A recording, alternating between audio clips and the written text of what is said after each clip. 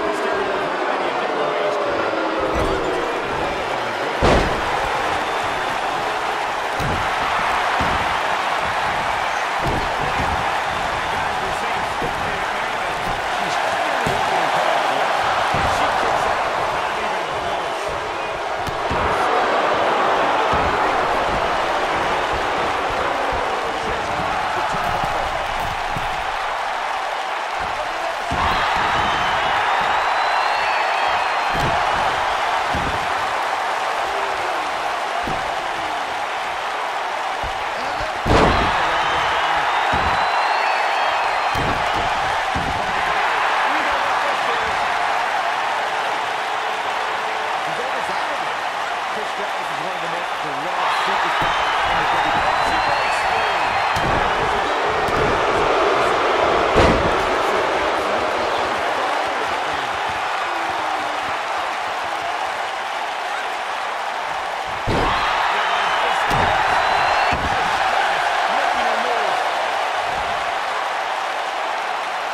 Something fast. Byron brought up Trish Stratus' passion she gets out.